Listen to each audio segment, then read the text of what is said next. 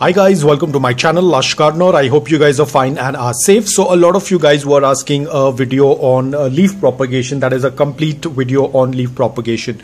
Now guys, the video is going to be a very long video. Uh, like uh, the entire process is going to take a very very long time. So of course I cannot uh, put everything in one video otherwise uh, it'll take another year to release the video. So what I'm going to do is I'm going to make this video in parts and once again I'm going to put it in the playlist. So whenever there is a new progress I will add the video in the playlist because even I'm not sure uh, when the things will progress. It all depends upon the succulent it all depends upon um, how smoothly the propagation tends to go.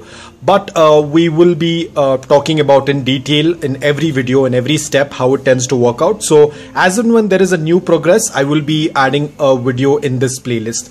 So the first step that we need to understand is uh, you need to understand how your environment is. Uh, is your environment too hot or is your environment too cold? Or if you're growing your uh, leaf propagation or if you're doing the leaf propagation indoor, there is no issue. But if you're doing a leaf propagation outdoor, then you have to ensure that your climate is pleasant, it's cool. It's not too hot, it's not too uh, cold only then if you feel that your environment is very pleasant outdoors then you can do your leaf propagation outdoor. Now for me it's not much of an issue because uh, my environment is very pleasant throughout the year so i tend to do my propagation throughout the year outside.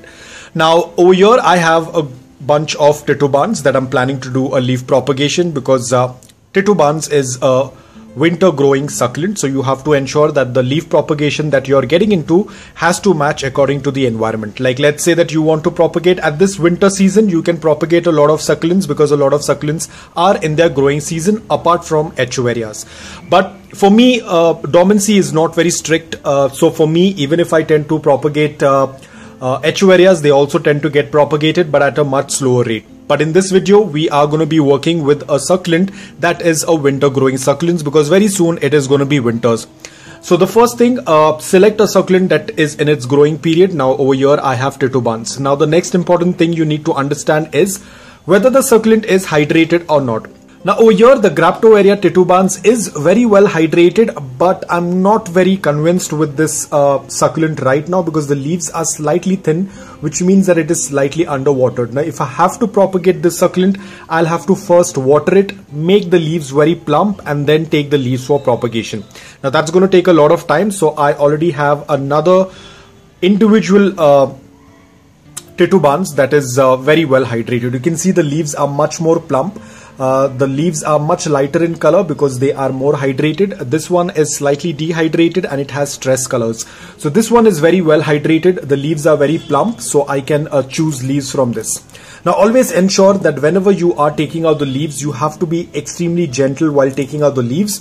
Uh, go for the lower leaves because they are the mature leaves. Uh, they are much more thick. Uh, they have a high potential of giving you a pop so a successful pup. So now let's very gently twist and turn and the leaf will just fall apart. The same thing with this one.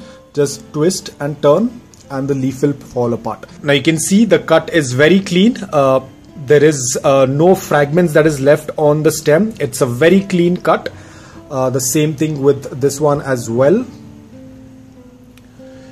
you can see it's a very clean cut. So this is how your uh, leaf has to be. It has to be plump. It should not be soggy. It should not be mushy. It should not be yellow.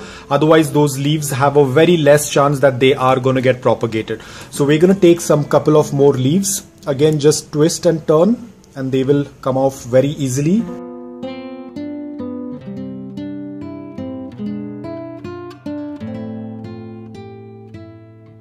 So all of the leaves that I'm taking out are very uh, fresh.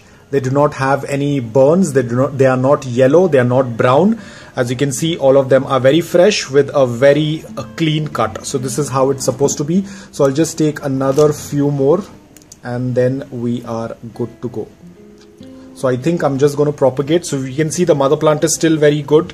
Uh, she does not look uh, shapeless because we still want to maintain a very beautiful, healthy mother plant. So the mother plant is taken care. Now remember we have cut taken off a lot of leaves from the mother plant. You can see those cuts. So ensure that this mother plant does not come in contact with any moisture or any water. Do not water the pot. Even though the cuts are very high on the stem we still do not want to take any chance so now we have all of our leaves over here. As you can see uh, none of them are yellow none of them are mushy all of them are very fresh. Now again it's not necessary that all of these uh, seven leaves are going to get propagated successfully. Probably one two or maybe three might not be successful. But that again completely depends upon the leaf and the environment. We can't do much about it. That's why whenever you are doing a leaf propagation try to take at least more than five leaves so that if nothing works out at least there's going to be one successful propagation and that's more than enough but over here we have taken seven. So let's see what we are going to do next. So now these leaves are very fresh. All of these ends are very fresh. They shouldn't come in contact with any water or any moisture. Not even like half a percent of moisture should come in contact with them. So you have to ensure that you either keep it on a dry surface or somewhere where there is a good amount of air circulation where there is a good amount of indirect bright light and it is dry. That is the most important part. It shouldn't come in contact with any water. So now I'm going to keep it aside. Now if you want you can just leave them on a dry table like this. There is a good amount of air circulation. You can just leave them over here for at least two or three days because that is ideally uh, the time frame it takes for a succulent to callus for the succulent leaves to callus. So two to three days is good enough so you can either leave it on a dry surface like this or you can put them on dry soil. So I'm going to show you how I tend to make the soil mix. So now over here I have some regular garden soil. Uh, it's little gritty which is absolutely okay. There is no need for you to filter it and now what I'm going to do is uh, if I'm taking 50% of uh, garden soil then I'm going to take uh, 50% of uh, coco peat. Now this is the only time that we tend to use coco peat for succulents. Now the reason behind that is because uh, the pups that are gonna come up, they need a little bit of moisture unlike the uh, mother plant. So now we are to completely mix this up. In case if you feel that the soil is a little bit more, you can add a little bit more of the coco peat. So now let me completely mix this nicely. And we'll take out all those fragments if there are any husk or those fragments. We are going to take out those fragments. And now we are going to take a container that has a drain hole. All of those drain holes I've made it with the help of a iron rod. And then we just fill it up with some soil and coco peat. So I'm going to fill it a little bit more so now that we have completely filled it, uh, the same thing just leave a little bit of edge on the top and then just uh, flatten it out. That's all about it. And you can see it is pat dry. This is how it's supposed to be if you are putting it into the soil. If you're worried that your soil is moist, then please do not add those leaf propagations on the soil because remember they have to yet callus so we do not want them to come in contact with any moisture. Now the soil mix is completely bone dry. So now we are just going to place them on the upper layer. So now as you can see this is the curve part. So we want to keep the succulent like this. A lot of people keep it um, like this or sometimes they happen to keep it upside down. But I would suggest just keep it up facing up the cut facing upwards uh, because then the pup is going to come out much better. You can place it however you want but I would say this is the best method. Uh, just lay it above the soil. Don't let those uh, cuts come in contact with the soil and you can just place them like this. I'm going to keep some space so that will be more visible as and when the roots grow. So as you can see that's all about it. We have very carefully placed and you can see all of the cuts are above the soil so that's how it's supposed to be. And now the next thing is we are just going to leave it as it is.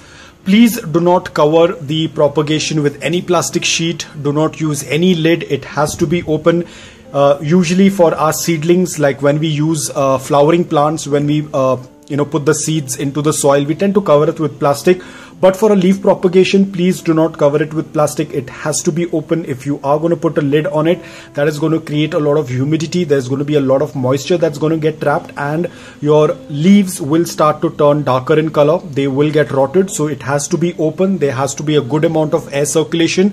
At the same time there has to be a good amount of indirect bright light.